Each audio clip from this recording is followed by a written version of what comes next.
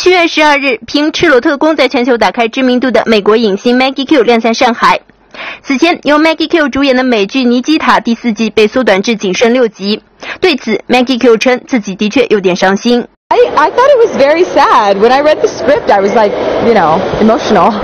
Yeah, but I think, you know, when you love somebody that much, you have to make a sacrifice if it's their safety, right? So I think she made the right choice, even though it's sad. 前男友吴彦祖已经结婚生子，而三十四岁的 Maggie Q 却仍待字闺中。被问及近几年是否有结婚打算，Maggie Q 表示一切随缘。I don't know. Um, I'm I'm one of those people who's very relaxed about marriage, so um, I think I'm not worried when it happens. Then it happens, you know, that kind of thing.